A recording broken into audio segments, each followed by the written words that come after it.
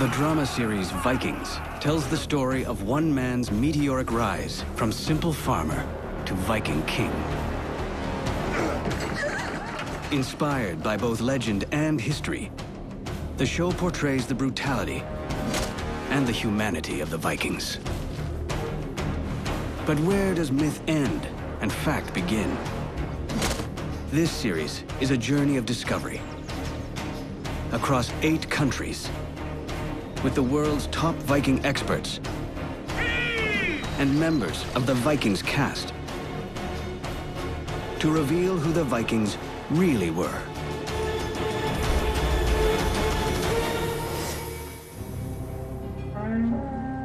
In this episode, the story of the Viking invasions of Europe. Why do the Vikings start to do what they do?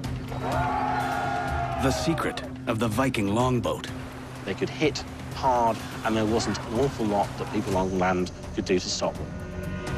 A country ripe for plunder. And an empire on the brink of collapse. If you wanted an event that had sort of a similar impact, it would have to be something like 9-11.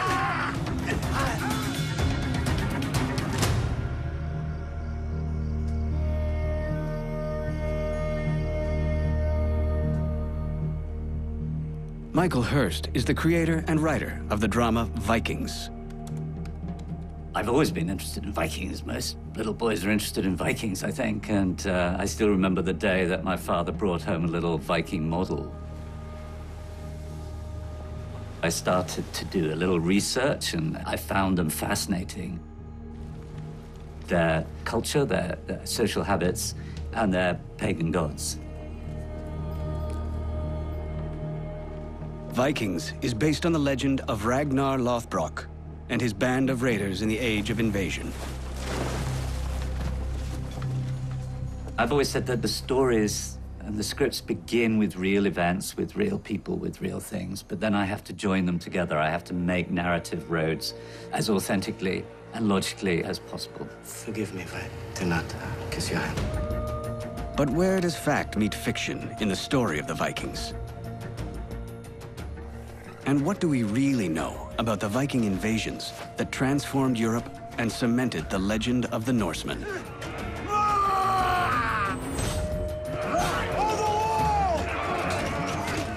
Actor Clive Standen plays the war chief Rollo, a real-life Viking who was part of the wave of invasions that touched every corner of Europe and beyond. We imagine them as these, these horned helmet devil monsters who came from the sea on their longboats and raided their way through Britain.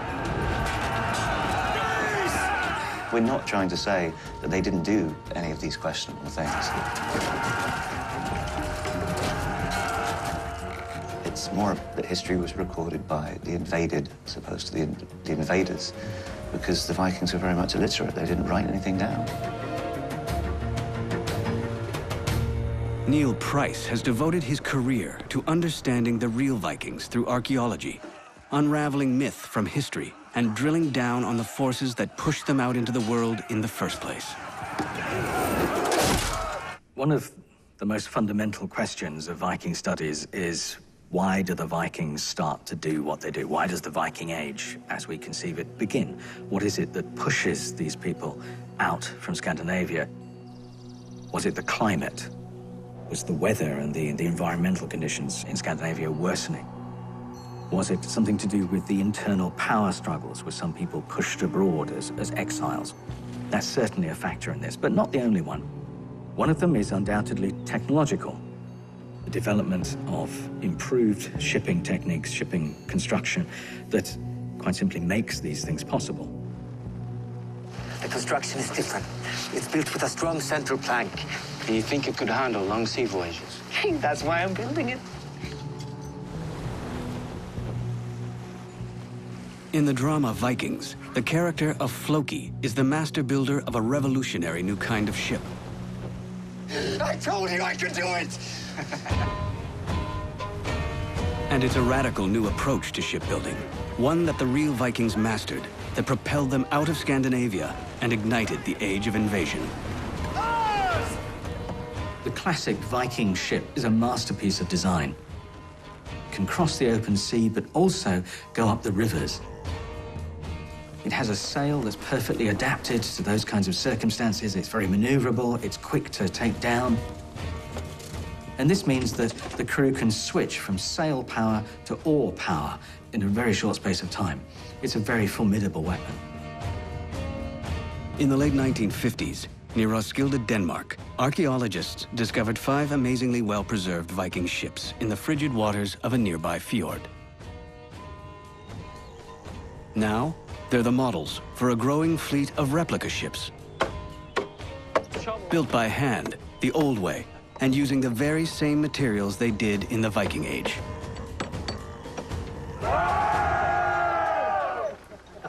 Kan vi få nogle klare meldinger?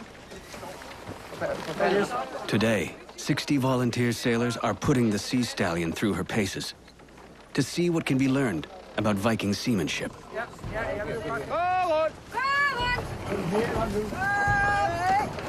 Archaeologist Ben Raffield specializes in the warrior culture of the Norsemen. And he's come to Roskilde to see for himself how the longship helped transform the Vikings into the most feared warriors of the Middle Ages. In my own research, I'm interested in the kind of social aspects of generally of the Viking Age, but especially in situations involving uh, warfare and conflict.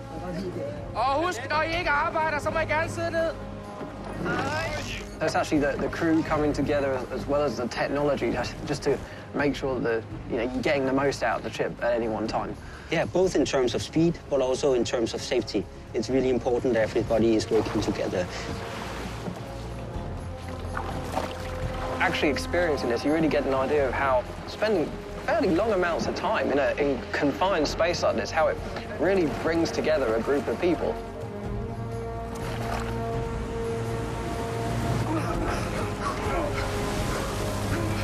They had to rely upon each other as sailors and as fighters. I think all those things helped establish significant social unity that made them somehow even more powerful. Sail down! The idea of becoming a strong unit. Once you hit the beach and you want to fight with the enemy, then these things, in my opinion, becomes really vital in, in staying together, becoming a unit, and, and, and fighting together.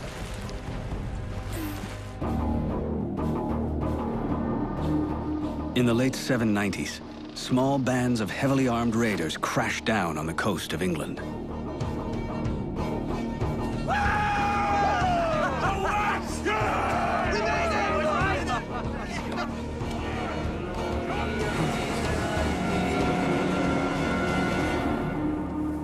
The Vikings arrive in England at the very in the sort of late 780s, early 790s, what's happening is they're coming into a world that's completely different from their own. There are these little monasteries scattered, usually in very isolated, out of the way places.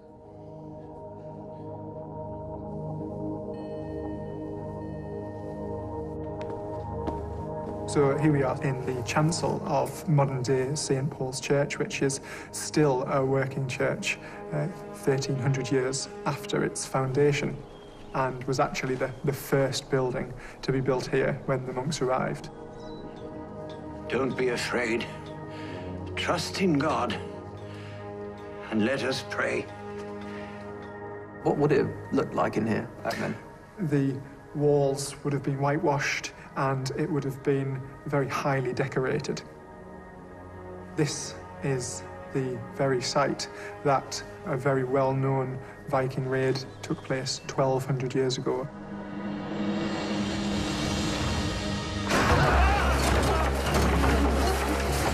Fiat filii et spiritus sancti, pater noster qui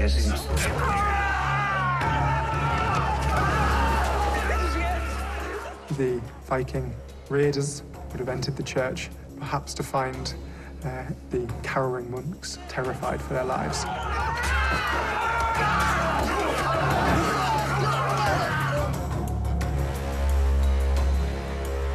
It's these things that the Viking raiders would have wanted to get their hands on. Of course, they weren't Christian, so they weren't being respectful to these uh, very sacred relics. To the Anglo-Saxons, so they would have pillaged the place and took whatever they could get their hands on. And to them, it, it's just a complete culture clash. It's extraordinary that they turn up somewhere where there is a huge amount of movable wealth. The idea that these non-Christians were coming and so easily destroying and taking things that were so sacred to the Anglo-Saxons, that there would have been perhaps some fear and also disbelief that this was actually taking place.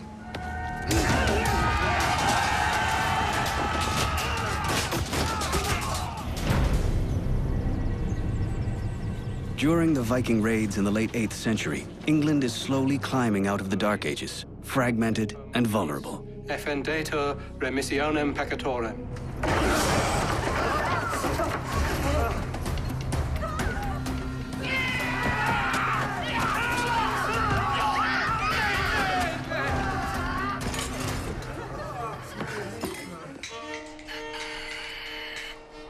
In northern England, just outside modern-day Newcastle, World is a reconstructed Anglo-Saxon village that transports visitors back to the medieval era. So the buildings on the farm are based on excavated sites okay. from um, sites throughout mm -hmm. Northumberland.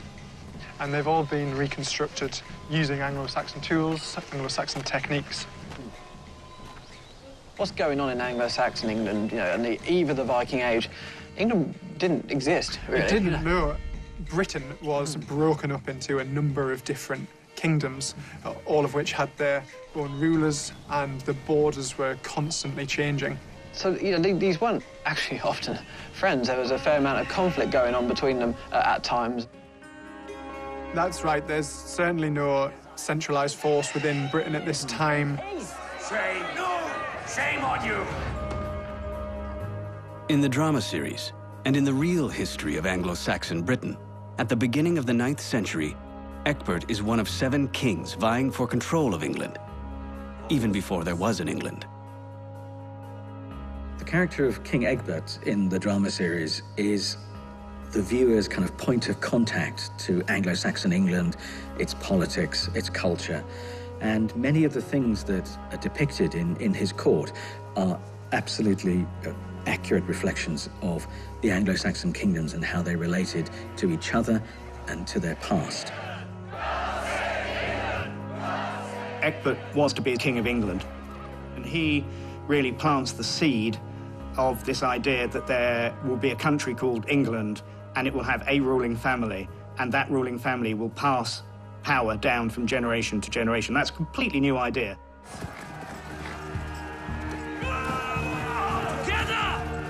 Different Anglo-Saxon kingdoms all have their own agendas that are meshing together. Sometimes they conflict, sometimes they run in parallel.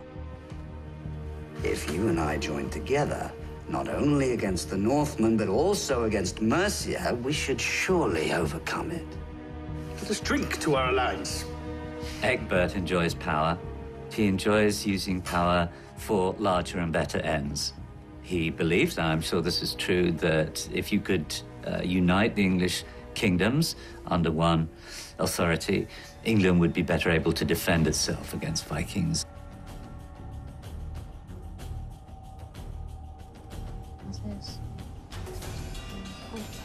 Inside the British Library in London, historian Clare Downham has uncovered remarkable 1,200-year-old documents laying out the plans for the earliest Anglo-Saxon resistance to the Vikings. Tell me about what we have here in front of us. Okay, so this is one of a series of uh, charters which come from Christchurch, Canterbury. So what we have here is a grant of land which dates to the year 811. It's also referring to uh, the fortification of strongholds mm and also um, the building of bridges um, against the pagans. And the, this term contra paganos here is the interesting bit because they are clearly being identified as the main threat to the security of this landholding. Um, and the kind of activities there is also indicative of a, a level of military organisation in the face of Viking attacks. We tend to have a, this view of the early uh, part of the Viking Age as you know, the Vikings coming over and ransacking mm-hmm. targets. Mm -hmm. And mm -hmm. actually, Anglo-Saxons not having much of a response, but mm -hmm. they should yeah. be able to actually defend themselves and even mount offensives against these incoming forces. Yeah, exactly. It's showing coordinated, organised defence. Just as the Anglo-Saxons switch tactics, so too do the Vikings. They now set their sights on the riches of mainland Europe. Vikings are very practical raiders. They go for least resistance. If the fighting is too hard, if, if the enemy is too well prepared, they just cross the channel. They go to the other side. For the Vikings, the Frankish Empire represents a, a kind of cornucopia of choice. It's a tremendously rich place and a tremendously tempting target in, in every way. The Vikings are about to unleash hell on Francia, the superpower of the Middle Ages. Then! When we think of the Viking raids and how they begun, there's, there's no sense in which the Vikings are heading out into an unknown world. They know exactly what's out there. And really, their attention is principally south into the Frankish Empire, one of the great superpowers of the time, with its markets, its towns. So there's really an embarrassment of riches for them to choose from. Today, the city of Aachen is in western Germany. But in the 8th and 9th centuries, it was the site of one of the greatest courts in the ascendant Frankish Empire. And no star burned more brightly than the mighty Charlemagne, who ruled the Franks from the year 800 until his death in 814. Charlemagne creates around him renaissance in art, in literature. He creates a, a really a glittering court, a court that by, by the standards of someone like Ecbert arriving from Wessex is just awe-inspiring. There are buildings that are made of stone. There are palaces that are 500 meters wide. We're about to walk into the presence of Charlemagne himself. We are. Perhaps the most famous image of Charlemagne from the Middle Ages, a piece of his skull in there. The year is 814, and finally Charlemagne is dead. We're standing here in front of his, his coffin, a reused Roman sarcophagus fit for an emperor. Mm. And things really start to go wrong.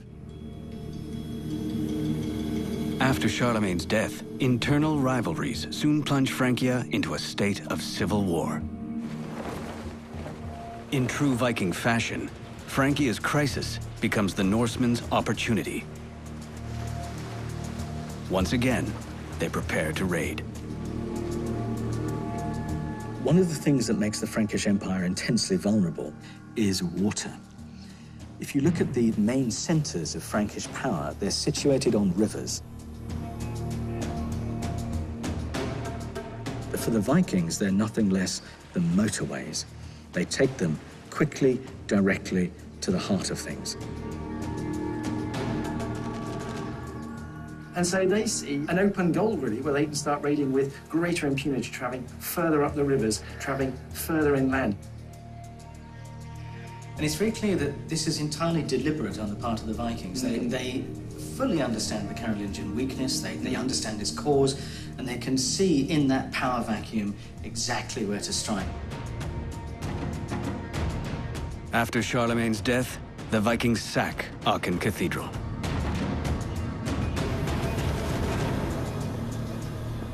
These doors are actually the doors that have stood there since Charlemagne's time. These are 1,200 year old doors. 1,200 years old. 1,200 years old. It's quite extraordinary to stand here in modern day Aachen and see exactly what the Vikings would have seen. Took what they could. That was the thing about being a Viking. You took your plunder, you took your loot, you took it back home. But these things, well, they you wouldn't can't- fit in your hand luggage, would they? No. And you would you sink your boat with one of these? Do you think? I don't know. You certainly wouldn't uh, fit two of them on a, a Viking longship. And that's probably why they're still here today, because they're far too big to take away with you. If you were a Scandinavian who came here, the idea was it would blow your socks off. You'd be so impressed. The other jewel in the crown of Frankish cities is Paris. With the nobility fighting amongst themselves for control, it had never been more vulnerable or more attractive to the restless Viking raiders. Tell me about Paris. It was amazing. I have never in my whole life seen anything like it. It was like a dream. And churches, such churches. In the third season of the drama series, this is what Ragnar starts to plug into. He, he hears about Paris, this, this fabled city, in, in his terms, perhaps the ultimate target. It's a draw. I've made up my mind. And this year, we shall attack Paris. Paris! Haven't you told us all about this before? Historical records from the time describe Ragnar as a leader of the siege. That this, this will not For Ragnar to hear that there are such places, which are almost beyond imagining, of course stimulates him and, and interests him.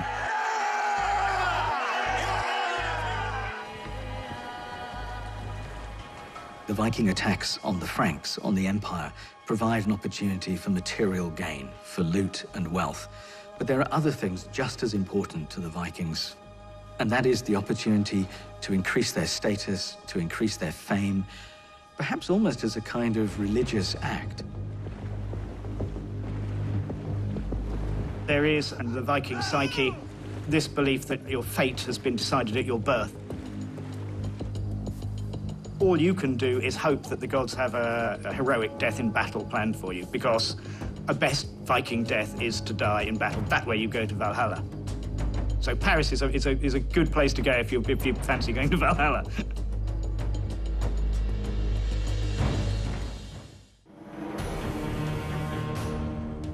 Paris, in the year 845. The splendors of the royal court of King Charles are legendary. For Viking raiders on a constant prowl for fresh plunder, it's an irresistible urge. Not only is Paris a very valuable target to attack, it is a famous target to attack. It speaks volumes. So if you can go there and attack them there, it does say, I have a free hand. I can do what I like wherever I like. Sailing south by southeast, we come upon the mouth of the Seine, the gateway to Paris. Here is the entrance. The entrance to paradise.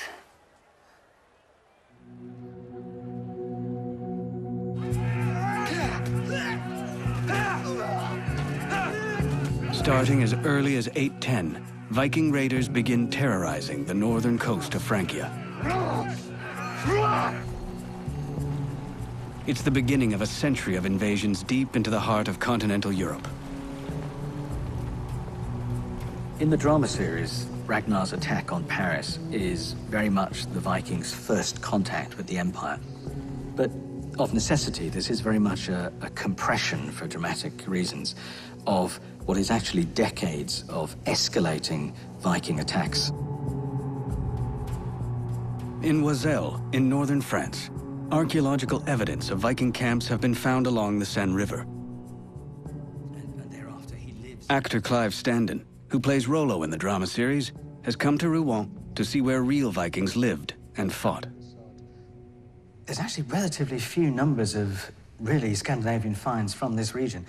And this is why we've come here to the Museum of Antiquities in Rouen and to see their, their collections here. So, Nicola, could you talk us through a little bit of what we, we see on the table? So I've got here a little selection of Viking items from our collections. So first of all, this sword here has been excavated in Normandy uh, during the 19th century from Oissel, uh, which was a very famous and important uh, winter camp for the Viking on the Seine River. And if you look uh, closer to the knob, you can see this semicircular shape, and it's a typical Viking shape for a sword. It's amazing, actually, being able to have them out and, and to be Do you want to handle this sword? We, we can be cautious about that, but okay, so just put one hand here now. Wow. Right. Up. Now, this is something Yep. you don't get to do every day. So it's very light.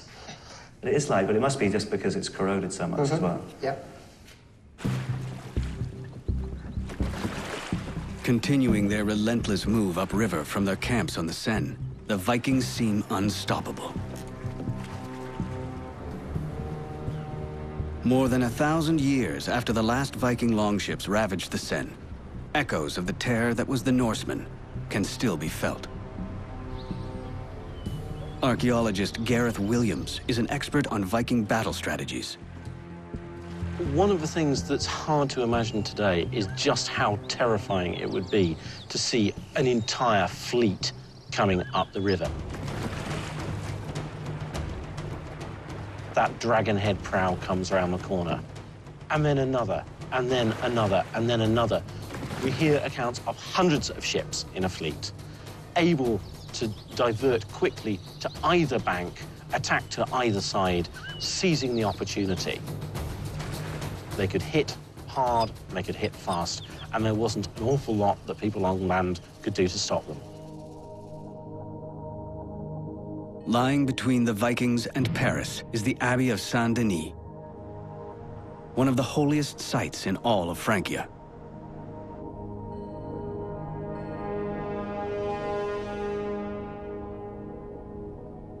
This is the resting place of the Frankish kings. It's also the keeping place of holy relics, saints' bones. This is a, a, a tremendously holy place and a symbolic place as well that, that the, the emperor wants to hold at all costs.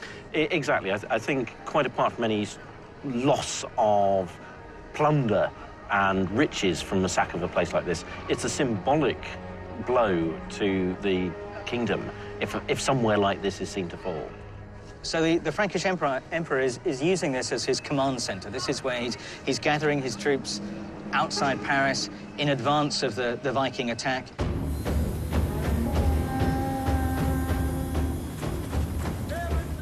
When Ragnar attacks in Mercia in the series, that's based entirely on an account of the Vikings attacking on the Seine, where Charles rather foolishly puts half his army on one side of the river and half on the other. So the battle that takes place here is, at that time, the, the greatest confrontation that has been between the, the Franks and the Vikings.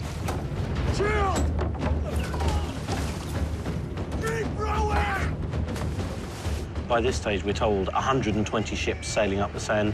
That could easily be a force of 5,000 men, um, and similar numbers, if not greater, on the Frankish side. So it's a real battle.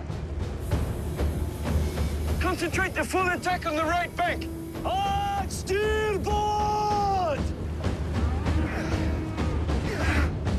There was two armies on opposite banks of the river, and we have Ragnar just deciding that, well, obviously I'll go and attack this small army, and not only do I stand a better chance of beating them, but the army on the other side will see me do it.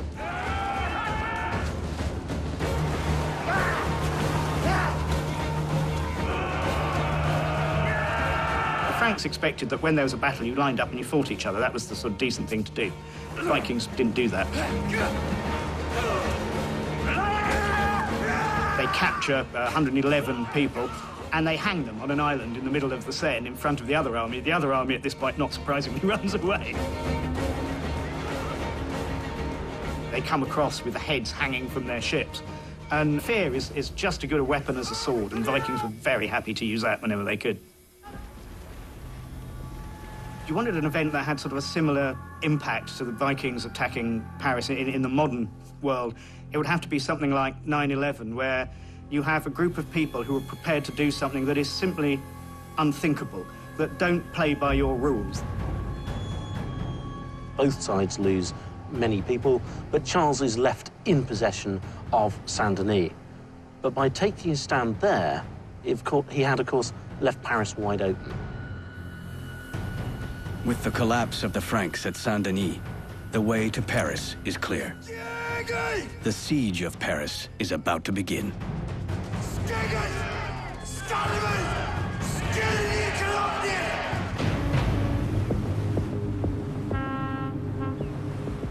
We're floating in the middle of the Seine.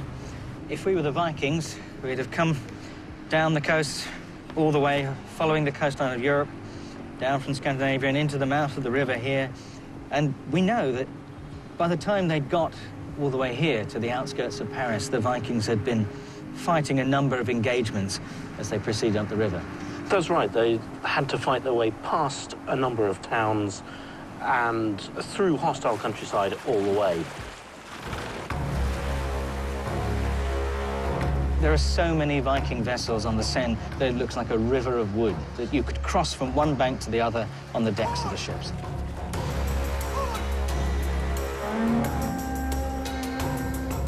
The year is 845 as the Viking fleet masses at the walls of Paris. The city was defended by enormous Roman walls, none of which, unfortunately, survive today. And that's why we're here in Le Mans, precisely because the walls of this city do survive, and they give us just about the best chance we've got of seeing what Paris's defences would have looked like. When you stand down here, you really do appreciate just how formidable these fortifications are. Yes, I wouldn't want to have to get up there in a hurry, especially not with people throwing things down on my head. If we think of this as Paris, what we're looking at is, is the Seine out here, um, the, the ships right up against the base of the wall, which we know came down to the water.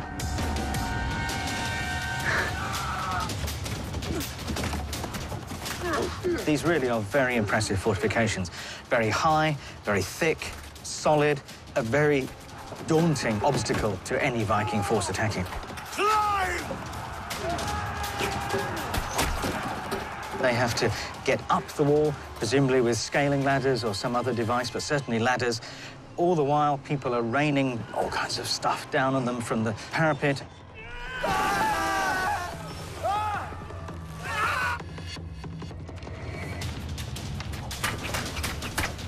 Archery is a very important part of these sieges, isn't it? Yes, very much so. The defenders up here would have the advantage of gravity, firing downwards that have a greater range, greater penetrating power. And with towers like this, every 50 feet or so, those enable to shoot across the gaps. So from here, you can really only attack directly downwards. But from the towers, you've got crossfire as well.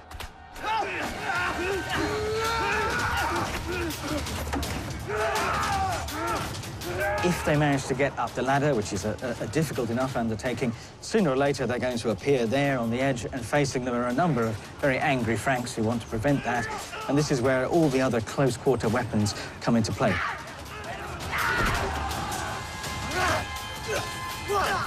A very, very bloody affair indeed.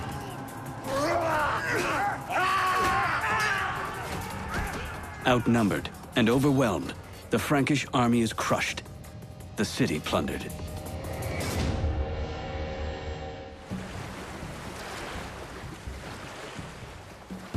But it doesn't end there.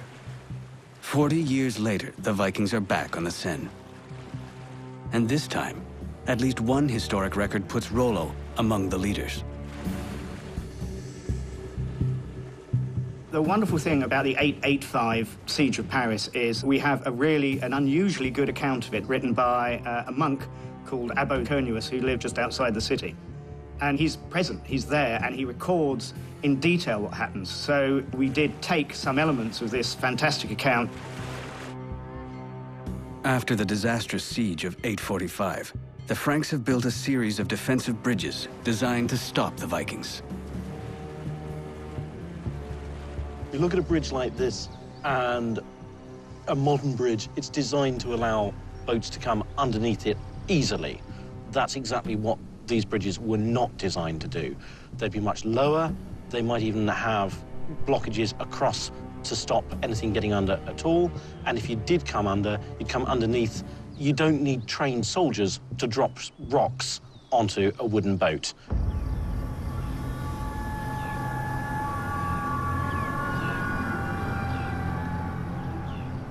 So in 885, the focus of the campaign is on the bridges to stop the Viking fleet from passing Paris and continuing on up the river.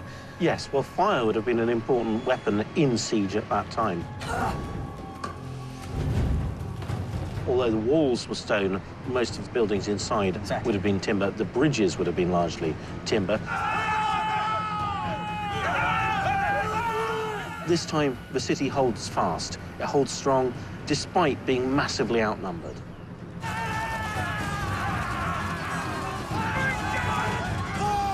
At the end, they simply fight themselves to a standstill. And the rather anticlimactic end of the siege is that the Franks simply pay the Vikings to go away. So both sides, in a way, get what they want. The, the Franks have their city intact, the Vikings have their reward.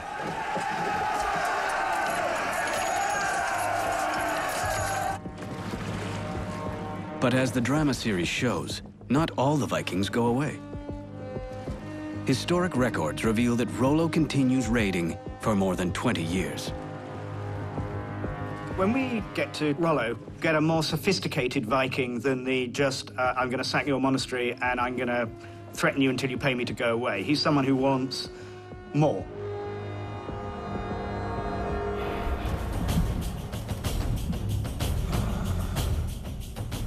Drama series character of Rollo is one of the most famous Vikings of history. Absolutely a real person. Rollo is his English name. It comes from the French Roland. This is a man who has been on decades of Viking raids.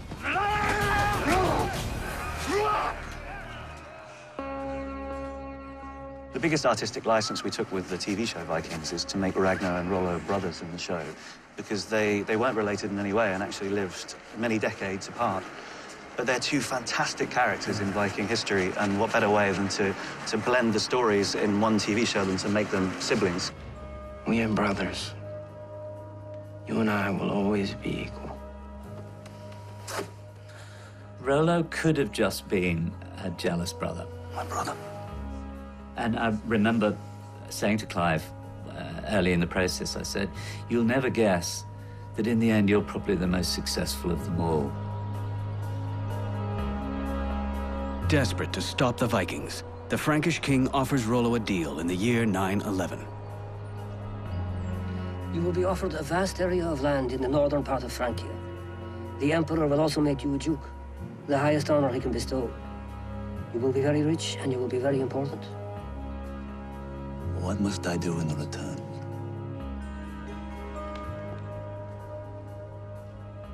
Neil Price and Gareth Williams have arrived at the august French National Archives to see what records remain of the Frankish king's attempt to buy peace with Rollo. So, what we have here is one of the very early documentary records of the granting of land to Vikings in France. Yes.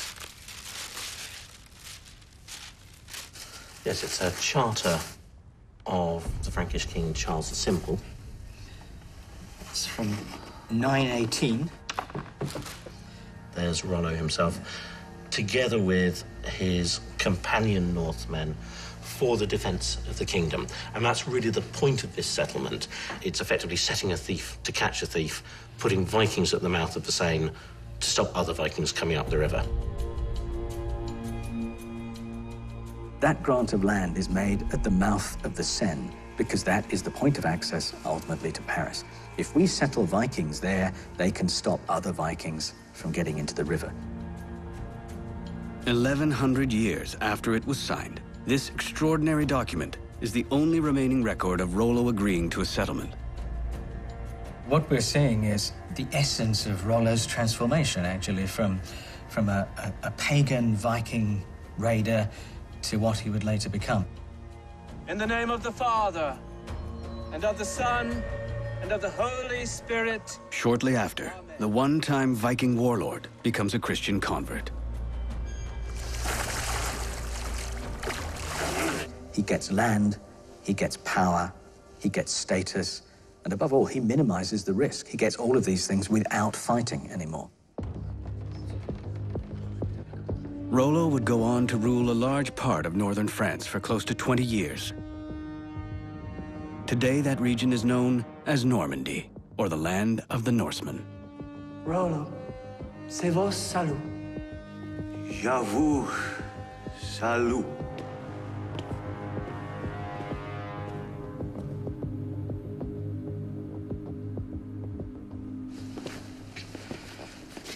And here we are. Here he is. Duke Rollo himself. And this is why we've come to, to Rouen Cathedral. This is the, uh, the heart of Normandy. It's the place where Rollo was baptized, and, and here he is, his, his burial place. We have every reason to believe that his bones really are in here. It's an incredible moment for me because I remember coming here when I was about 11 years old on a school trip. And I would have had no idea that, you know, this would have been full circle and I'd be playing this character. This also marks a, a, a different kind of full circle for, for Rollo. At the end of his life, he, he's a, a Christian ruler of a Christian duchy and, and buried here in this you know, magnificent cathedral. I never forgive myself if I didn't touch him. Incredible.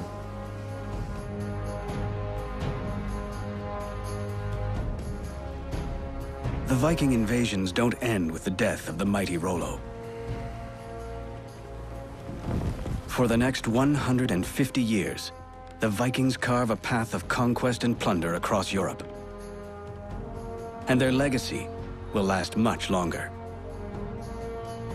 In the next century, Rollo's descendant, William the Conqueror, will become the King of England.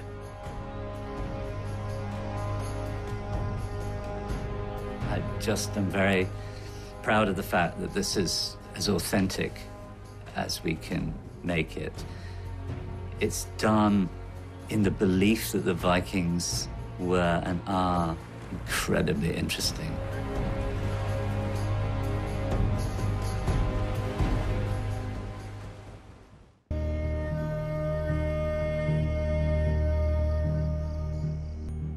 Vikings is one of the few words that's universal, and it brings to everyone's mind the same visceral imagery, the same sense of their awesomeness.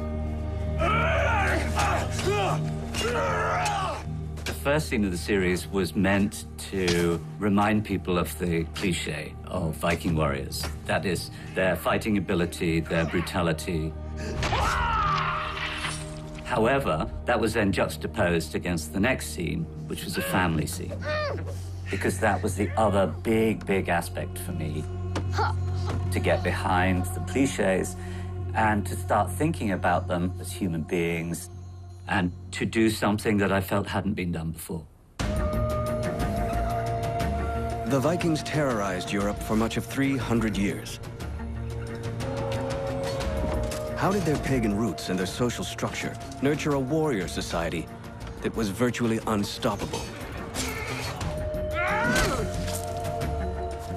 Archaeologist Neil Price is one of the world's leading experts on Viking paganism. There's one factor above all that sets them apart, and it's quite simply their religion.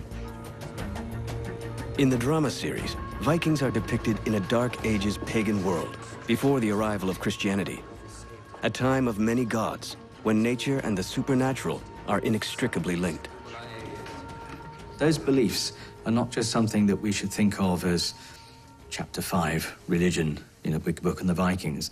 They're things that inform every aspect of life. You know who that is, don't you? Of course. This is Thor. Almost everyone has heard of Odin or Thor, but there are actually a great many of Norse gods, some of which we know almost nothing about other than their names. But for the Vikings, the most important aspect of that supernatural world was the invisible population that lived all around them. The elves and the dwarves, the water spirits, the ice spirits, the land spirits. All the citizens that shared their world and with whom they had to maintain good relations. Today, 1,000 miles off the coast of Scandinavia, across the harsh North Atlantic, Iceland is a place where the echoes of the Vikings can still be heard. Actor Clive Standen, who plays Rollo on the Vikings series, has come here to learn more about the spiritual world of the Norsemen. But it's up in the hills here, that's where the, the very spirits would have lived that you would have been dealing with. And When you talk about spirits, you mean trolls? I'm talking about the land spirits um, that you, in a sense, have to do a deal with to to uh, protect your farm, help you, help you with, with daily life to a certain extent. Um, this is a rough landscape to be living in. I'll take you. Folklorist Terry Gunnell has spent his career trying to decipher Norse paganism. When a person thinks of a religion, they tend to think of a religion like Christianity, which has a book behind it, a set dogmatic religion. Everybody has to behave the same. You have a, a text for rituals. What we're dealing with here is religion without a book, a religion that has developed orally over time amongst a whole range of different tribes. In the driving snow of the Icelandic hinterland, Clive Standen is being transported back to the world of the pagans. A small door for uh, what we always imagined to be tall Vikings. Absolutely. so, here we have the longhouse as it might have looked originally. Certainly equip yourself with a weapon here. I'll keep it. Let me introduce here my colleague, Aðalheiður Guðmundsdóttir from the University of Iceland. Lovely to meet you. Lady of the house here. And sit in the high seat. Don't mind if I do. So this is this is the normal sort of setup for the average house, I would say, certainly around Iceland. Quite dark, quite smoky, and quite atmospheric, especially in the wintertime. I just really want to know how, how this pagan belief system, how it, how it functioned on a day-to-day in one of these farmhouses. The religion was part of everyday life, and if you're making bread or making beer or something like this, you're going to be calling on local spirits, nature spirits, to be helping you. When the spirits are wandering around outside, everybody's a little bit drunk. There's smoke in the room here, there's firelight lighting up your face. And then suddenly you say something like, um, ek at ek hek, vinga með því á. Nætur alla nýju, geiri undaður og gefin óðni, sjálfur sjálfum mér. Suddenly the, the poet is turning himself into Odin. And basically this is Odin talking about how he listened to the words spoken in the hall And the gods are, I mean, they are interesting characters, so people would like to hear stories about the gods. Af rúnum er ég dæma Ní af ráðum þögðu Háfahöllu at háfahöllu í Ég segi Gamla Uppsala is an ancient Swedish village one hour north of Stockholm. Underneath its pastoral lands lies a rich but hidden past dating back to the bloody days of the pagans. It's one of the most important ritual centers of Viking Age Sweden. The focal point of Gamla Uppsala is a gravel ridge that runs all the way through the site.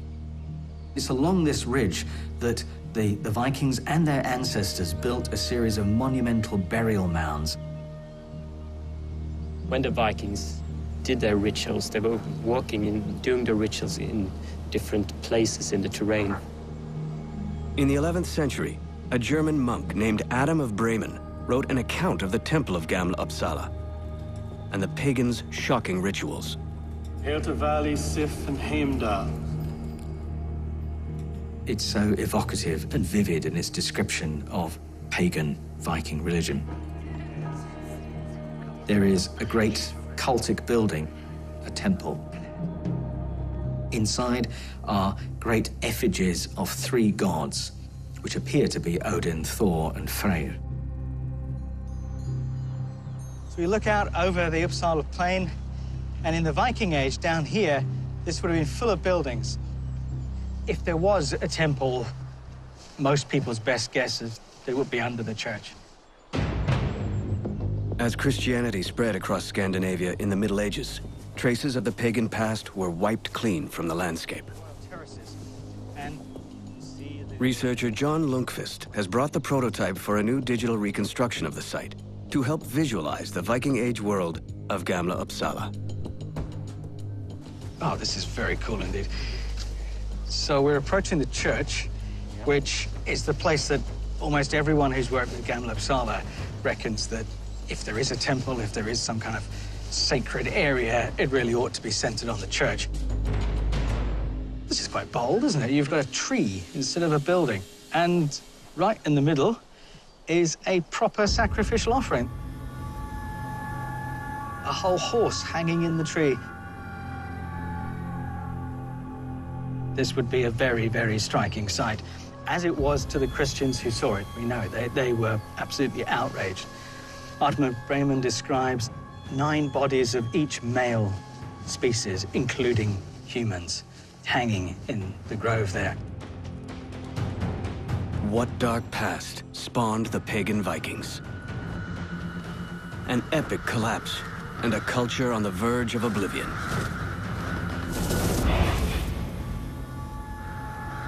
In the 6th century, 300 years before the Viking Age, the people of Scandinavia are mired in the chaos of the Dark Ages. But the pagan gods are no match for the fate that is about to befall them. It's impossible to really get to grips with who the Vikings were, why they came to be, and what they did without going back in time as far as the, the 6th century. What we see is a period of tremendous turmoil. Things start to really fall apart. Many experts believe a perfect storm of factors very nearly bring the Norsemen to the brink of extinction. People have speculated about famine, disease. Other people think that it is about the destabilizing effect of former mercenaries who had fought for Rome finally coming home and bringing their troubles with them. We find a drastic abandonment of settlements. Whole communities simply left. On Gotland, off the coast of mainland Sweden, all that remains of the Norse village of Vallhagar is an empty field turned over to nature. But in the Dark Ages, it is a thriving community of 24 homes, a collection of farms, roads, and even two cemeteries. It's the largest archaeological site from the Iron Age ever found in Northern Europe. One of the things I, I really like about this site is the possibility to get a feel for the landscape. It's a place that lends itself to the imagination. You can repopulate it with the, the voices, of the people that lived here. But sometime in the 6th century, these fields are the site of a savage conflict. Valhaga has been completely excavated, so we have the whole village uncovered, and it met a very sad end. Today, a tiny shard of pottery provides a glimpse into a pattern of destruction that was being played out across Scandinavia. And this is very, very typical for this period of time. Strange with a find like this, it's just a simple piece of pottery, but it, there's a, it tells a very violent story. This has been burnt, isn't it? It's typical of the objects that were in the houses, isn't it? That they Mm. show the marks of the fire that, that's Yeah. destroyed the buildings. It looks very much as though the village was attacked and never resettled. It, it was Yes, abandoned yeah. after that. In this period, we also see abandonment on a wider scale. Yeah. Yeah. Uh, I mean, uh, is this going on across Gotland? Yeah, yeah, it is. So at this same time, most of these places are being abandoned. Exactly what happens to cause devastation in Gotland and across Scandinavia remains a mystery. But the path of destruction and death it leaves in its wake paints a picture of a people fighting for their very lives. Things start to collapse in Scandinavian societies. Some scholars have estimated that the population of Scandinavia may drop by half, a 50% death rate. And the reason this is relevant to the time of the Vikings, more than 200 years later, is what came after that collapse. How did people start to rebuild? As so often happens after a time of large-scale trauma, some of the solution seems to have been violent. It's a shift to a society in which war is commonplace. In the apocalyptic years of the Dark Ages, Scandinavia becomes a spawning ground for a martial culture, a culture where the values of constant warfare color every aspect of society. We see the rise of true military elites, people who fetishize weapons. They're making a virtue of their warrior identity.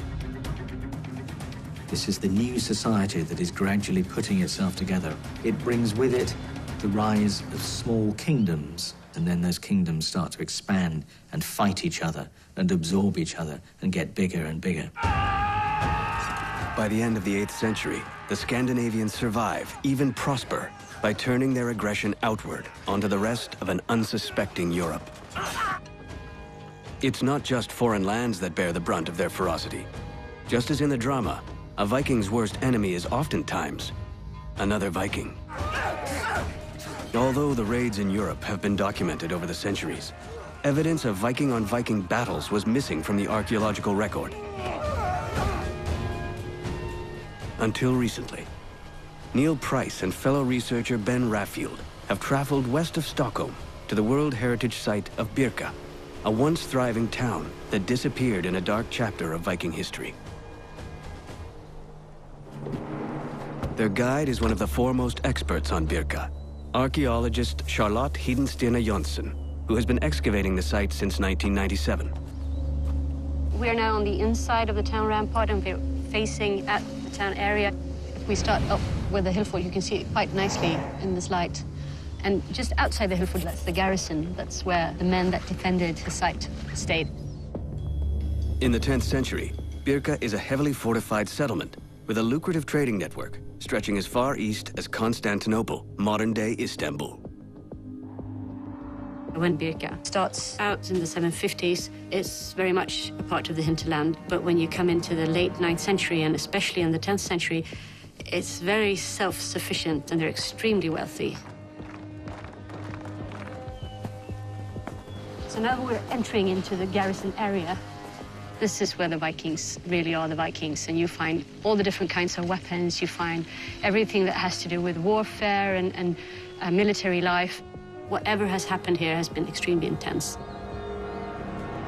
As in the drama series Vikings, the real Vikings of the 10th century are ready to fight to the death in a world where differences are settled in blood.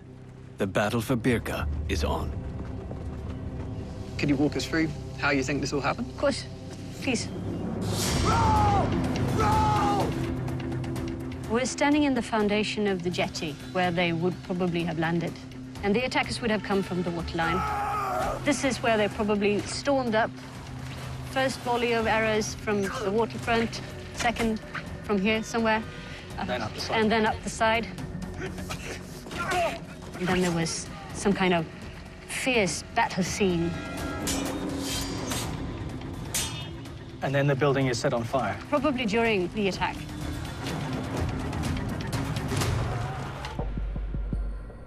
Artifacts dug out of the ruins of Birka are kept safe in the Swedish History Museum in Stockholm. Here, Charlotte has turned this storage space into something closer to a crime lab, combining modern archaeology with what looks like police forensics. So the first wave of the battle would have been the attack from the waterfront, and you can see that there are lots of arrows in this mm. area of the house. So these are the actual arrows. These are the actual coming in. arrows. There's armor-piercing arrow. There's and the slightly twisted ones So you can see it's pointy mm. shape. to punch through armor.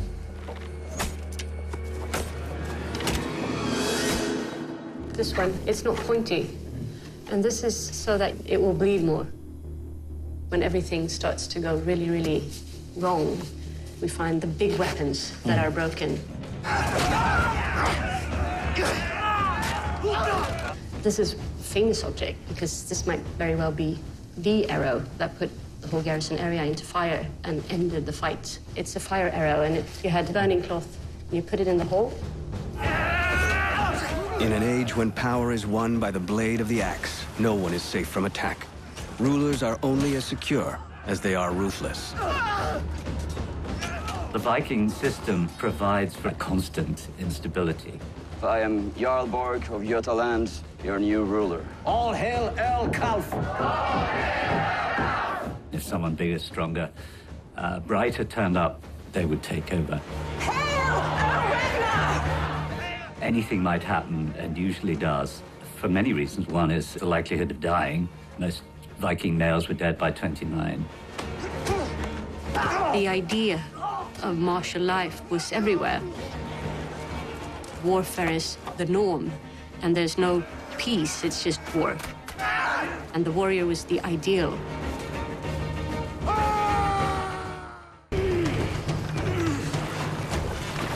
As the Viking menace explodes on the medieval world, their legend as fearless warriors help carry them on a wave of conquest and plunder.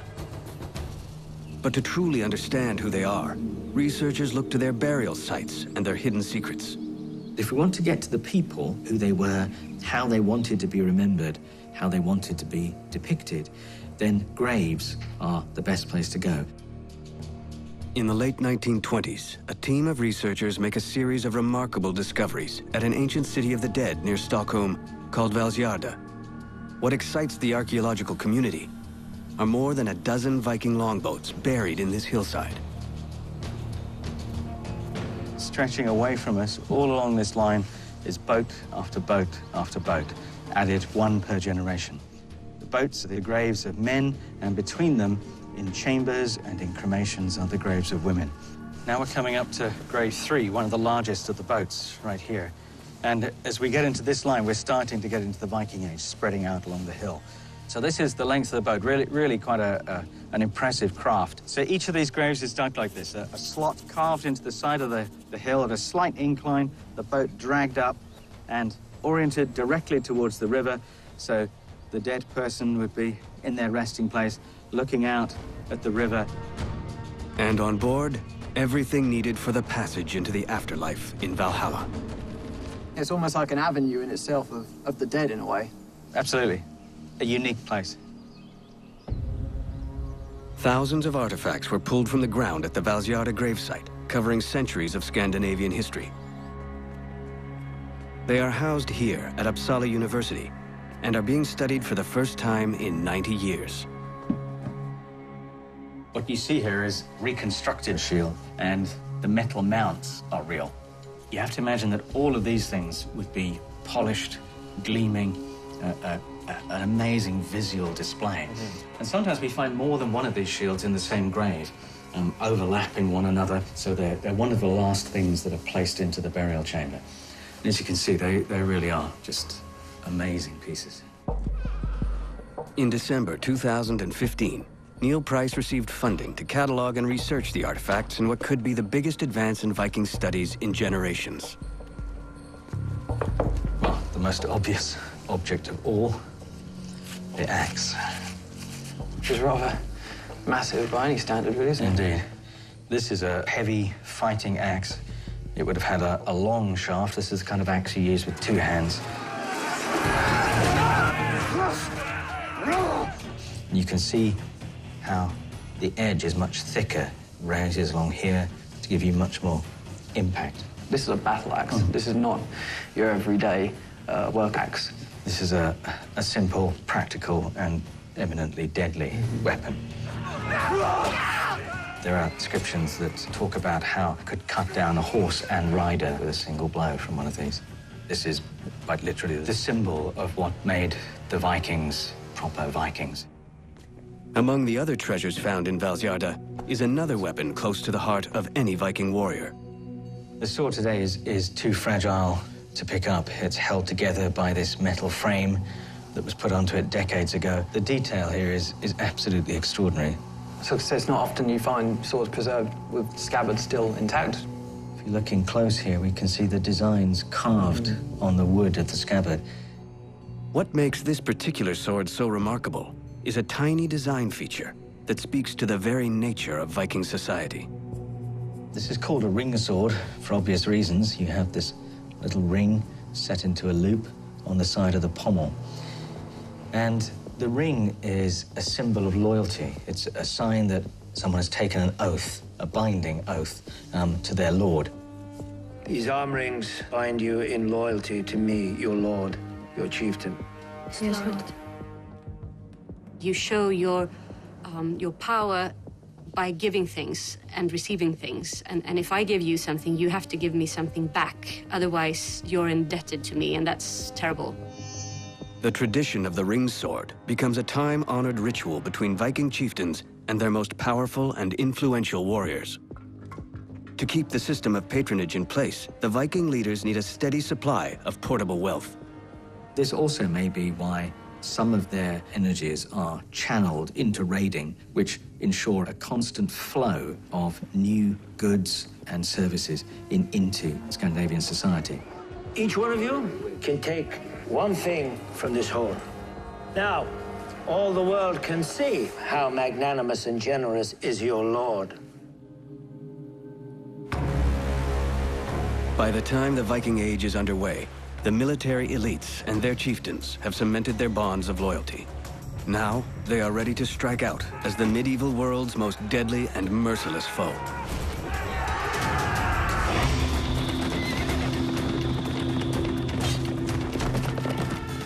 Back from the brink of oblivion. The Vikings of the 8th century are rebuilding their civilization against all odds. And as their communities begin to flourish, they also start trading within Scandinavia and slowly begin to improve their daily lives. the big, big aspect for me of going into Viking life and into Viking society was to explore them as human beings. I don't think they've ever been humanized. Facing out onto the North Sea, Kaupang is one of the most important trading centers in all of Scandinavia in its day. Its very name means marketplace in Old Norse. Kaupang is one of these very, very key early towns from, from Scandinavia. It begins around the start of the Viking Age. Archaeologist Steve Ashby has come here to learn more about the everyday Viking life in the 9th century. So we're here at the famous site of Kaupang. Um, what, what was here? What did they find here in the excavations? Um, this was a uh, kind of a small town uh, situated along this, uh, where the sea came in. Today, all that remains of this once thriving community are farmers' fields. But in its day, Kaupang would have been a bustling center of close to a thousand Vikings and their families. So this was a planned town, a planned market? Yeah, they, they uh, was obvious that they saw the, the plot uh, of the, the town, so it seemed very organized with the streets and so it's pathways yeah, and fences. pathways, fences.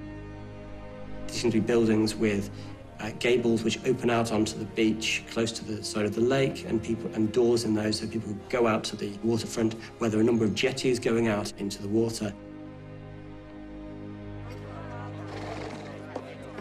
One historian has referred to the Viking Age as the golden age of the pig farmer because most people never did anything and never went anywhere. And they stayed at home. Finding that daily life, the people who underpinned all the people with pretensions to glory and big ships, that is one of the great challenges of archaeology. At the Museum of Cultural History in Oslo, tens of thousands of artifacts found in Kaupang form the basis for a living history of the early Viking way of life. What I like about objects is that they're part of a sort of a non-verbal communication. The way that they tell other people who they are, what they want to do, how they exert authority over people. And artifacts give us an insight into that, which is often missed by the historical record. Oh yeah, so what are these? Some simple, cheap jewelry mm. that a lot of people could afford. So this is the sort of the, the real sort of everyday, everyman kind of, kind of approach. This would be the Scandinavian type of pottery. Then if we look at where the charring marks are, that could tell us whether it's sat in the coals or, Mm. or over the top, Mm. which would tell us about different ways of cooking. Right, so we come to now to another sort of complicated manufacturing method which produces hair combs. It's made up of deer antler and then riveted together with iron rivets and then very ornately decorated afterwards with, with intricate designs. These teeth actually don't actually really look like they've been cut for purpose. They just look to, they're just there to look fancy. So I think that there's a possibility this is a kind of status tool. It's like a designer watch. One of the most common ways of looking at the Viking Age is, is as seeing it as something alien, something very different to what we think about life today. But there are elements of life which go on which would be familiar to us as well. They made things, had to eat, they had to cook, tend the fields, bring families up. People are people in the Viking Age.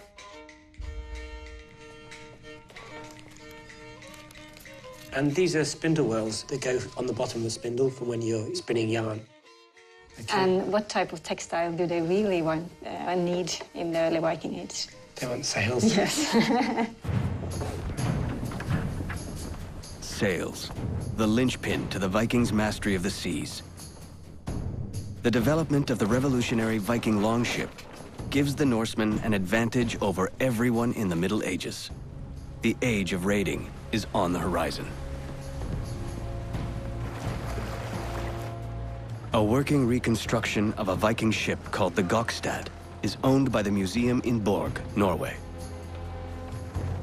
Okay, we have to row. It's no wind now, so we have to row a little bit. Okay. Row. Come on, team.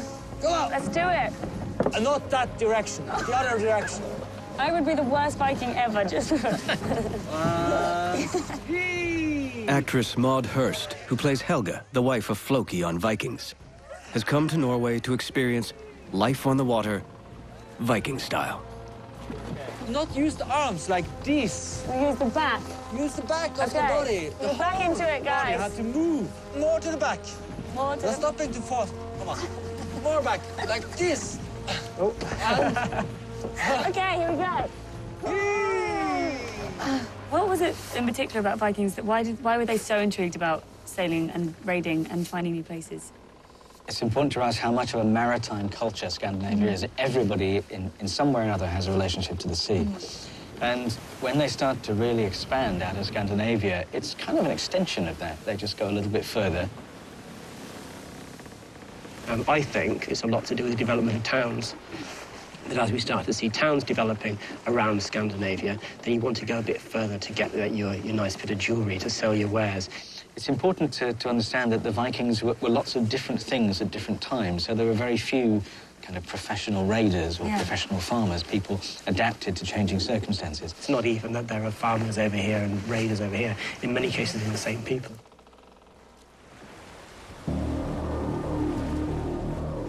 Was an absolute explosion sometime in, in the 8th century, 9th century of these raiding parties uh, appearing out of uh, Scandinavia. And the story itself involved cultural, military, social growth. This was a dynamic period which actually changed Europe. But it started from these little islands. One of the things that changes around the Viking Age is there's an increased access to portable wealth. People start to go out of Scandinavia to find this stuff.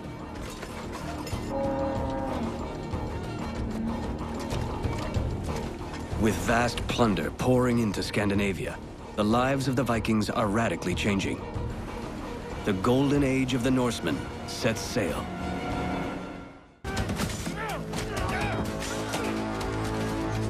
At the beginning of the 9th century, the Vikings are cutting a swath across Europe.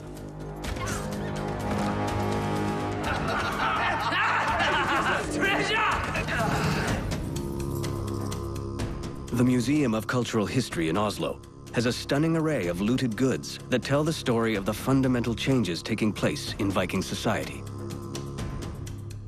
We have stories in the Anglo-Saxon Chronicle about the raiding of monasteries, but to actually see the evidence, and it really sort of brings it to life. Is this the sort of thing that would have been brought back from overseas, do you think, or is this a, a sort of thing that would be made in Scandinavia? Well, uh, there are uh, produced swords in Scandinavia in the Viking Age, but from the shape of the handle, it probably is brought back uh, from, uh, from the British Isle. So this is as Viking as it gets. This is uh, an object which has been taken from a monastery in the British Isles. It's been turned into a piece of jewellery for showing off and displaying status and power. You are all power. We have these pieces here. Uh, they're all mountings from a sword belt. A sword belt has been converted into jewelry. Evidence of gift giving in Viking culture. Wait, wait, what's that? It's women's names uh, carved into the backside of the objects. Okay. So it's been uh, attached by writing to the person. Someone's laying claim to this object. Yep, absolutely. They could have melted all this stuff down if they wanted to, but they didn't. And we know that there's a certain amount of power that can be won by referring to your great adventures overseas. If you can demonstrate your power giving out these objects, that allows you to build a stronger and stronger political base. Viking chieftains are growing in wealth and stature. High above the Arctic Circle is the historic settlement of Borg, or Stronghold in English. Look at this. It's like never-ending mountains. Today, actress Maude Hirst is on a voyage to learn more about how the Vikings and their leaders really lived. Borg is a village under the rule of a Viking chieftain in the 9th century. The remains of half a dozen massive boathouses and their untold secrets have rested undisturbed for more than a thousand years. So what exactly are we looking at? Well, this is the, the space where a Viking boat would have been pulled up from the lake and housed over the winter. So on these earthen banks that we've got here, basically a, a long, thin wooden house with a boat inside. Kind of similar to what like nowadays boathouses look Absolutely. like. Yeah. And how big is it? We can find out. Shall we, uh, shall we pace it? I think I'm at the end. Wow. Well, that's pretty big. This is the sort of thing that would have housed the boats that came in for anyone who was coming to visit Borg. Would these boats have been able to get to England and, and travel that far? Or? Yeah, I don't think there's any reason to think not. Awesome. This is uh, it's pretty amazing.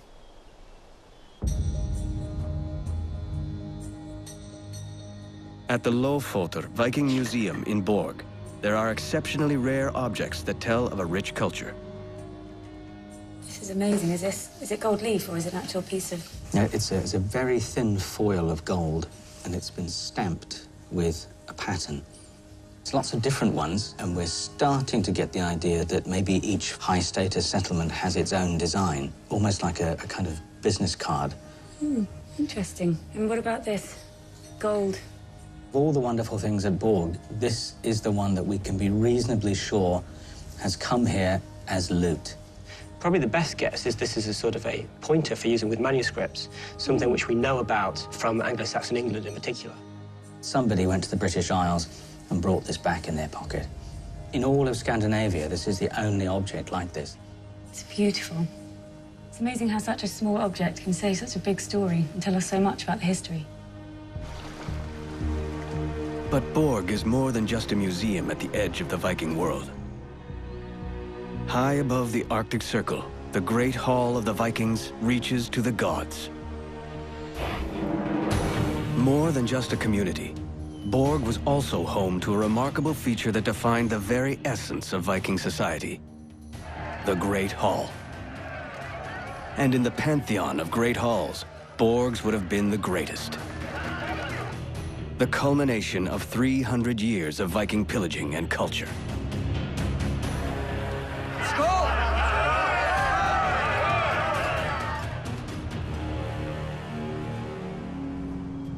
Wooden markers indicate where the actual posts of the Great Hall once stood. This would have been home to the chieftain at Borg. It is the largest Viking building ever discovered in all of Scandinavia. It really is just a perfect location for a hall. You've got access to water down there. You've got good arable land up here. This is something you don't get from a, an excavation plan, do you? No, This no, it's fantastic. It's very, very No clear. wonder the chieftain felt powerful being in this place. And as we come in, this is a sort of classic entranceway space. Yeah, you can see the aisles of posts support the roof, and you can see them stretching away. We're only about, what, a third of the way in Yeah. to the hall. This is like 80 metres long, I think. Yeah, It really 83. is way bigger than I thought. And it's, I mean, it's such a huge space. How many people would have lived in here? Just the chieftain and his family, or would there have been other people here? That's one of the big questions here, isn't it? Because it, it's too big for a single residence. Mm. This isn't, you know, a nuclear family rattling about in one end. Presumably, their servants are living in here as well, perhaps their extended family, or perhaps even several families. It's just so big. It's, it's a vast structure. And we can see that, can't we, in the kind of activities that are happening here as well. There all seems to be all sorts of crafts taking place. There are people weaving, there's people sat at the fire doing different crafts, there's cooking going on, um, as well as all the various sort of high status activities. So it's a kind of a, a very sort of multi-purpose space in many ways, um, but at, at the same time, a very monumental space. The museum has reconstructed to scale what the chieftain's Great Hall might once have looked like.